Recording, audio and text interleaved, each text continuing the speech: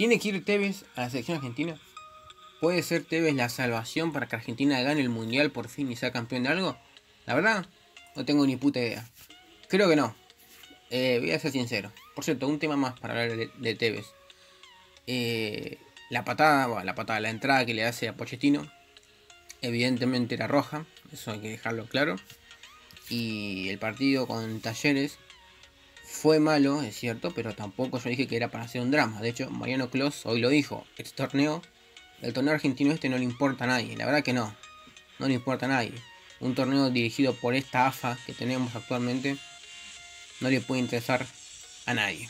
Pero bueno, dejando en claro eso y dejando en claro que Delfino, la verdad, estaba dirigiendo en Saturno, porque realmente no sé qué flasheó ahí.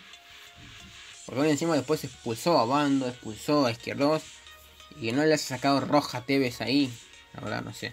Ya con la entrada de Tevez quedó en claro que el partido era iba a ser un desmadre absoluto. ¿Tevez tiene que ir a la selección? ¿Sí o no? Para mí no. Para mí el recambio y hay que ver con proyección al mundial. Porque esa falacia que siempre decimos, ¿no? De las elecciones del presente, hay que convocar los mejores en el momento, es relativo, porque a veces los mejores en el momento no son los mejores para la selección. No son lo mejor para ese futuro. Por ejemplo, Aragonés, el técnico español, cuando dirigió España hasta el 2008, me parece que fue cuando lo dirigió, este, después del Mundial 2006, no volvió a convocar a Raúl tengo entendido.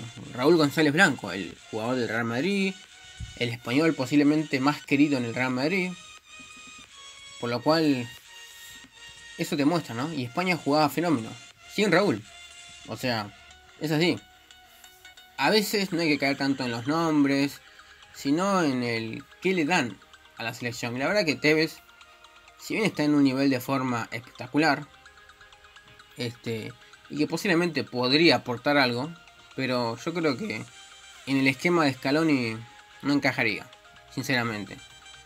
Por lo cual ya directamente desde el juego y desde el esquema para mí no encaja. Para mí tampoco es... Tiene la mentalidad, para mí él está centrado en Boca. Y encima tiene un problema familiar que la verdad no me voy a meter, pero es una tragedia absoluta lo, lo que está pasando. Y después simplemente el recambio, ¿no? Creo que ya, ya pasó eso. Realmente lo digo. Por lo cual para mí ya pasó su tiempo. Como también pasó el tiempo ya de Di María, pero bueno. A lo mejor Di María ahora va contra Perú y marca un doblete.